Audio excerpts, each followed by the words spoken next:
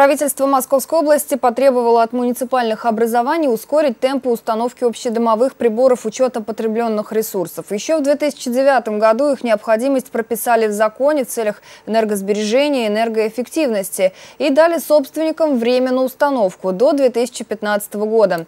Какова ситуация в Красногорском районе, весь ли жилой фонд готов экономить не только ресурсы, но и деньги, узнавала Валентина Титова. До 2015 года общедомовые приборы учета должны быть установлены во всех многоквартирных домах. Но в настоящее время в Красногорском районе счетчиками оснащена лишь половина жилого фонда. Чтобы ускорить процесс, обязанность по установке теперь, согласно федеральному закону, ложится на поставщика энергоресурсов. А вот затраты придется возмещать собственникам жилых помещений. То есть на сегодняшний э, момент Краснодарская теплосеть уже провела конкурс на установку общедомовых приборов учета и будет устанавливать за счет собственных средств на жилых домах, где этих узлов учета нету на сегодняшний момент.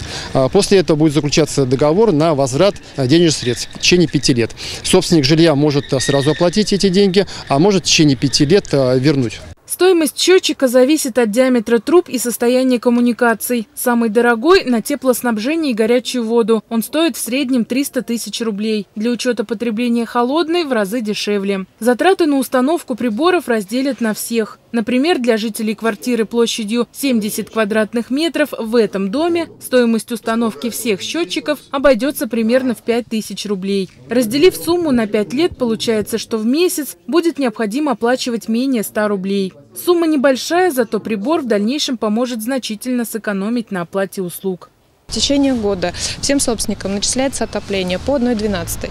Когда проходит календарный год, сравнивают показания фактические, которые набежали на узле учета, с расчетами, которые были начислены. И если есть экономия по теплу, то экономия по теплу возвращается жителям. То есть происходит перерасчет фактический. А в том случае, если прибор учета не установлен, то есть жители оплачивают норматив.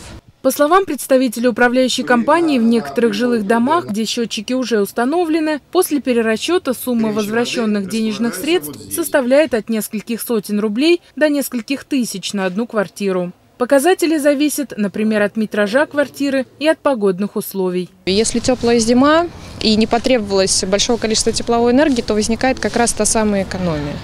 И в конце есть возможность откорректировать, то есть это происходит совместно управляющей компанией, совместно с теплоснабжающей организацией, происходит коррекция, и жителям эти средства возвращаются. Уже из опыта берем, есть дома, где по нулям, есть дома, где возврат 200-300 рублей, а бывает дома, где возвраты полторы, две тысячи и три на квартиру по результатам отопительного сезона.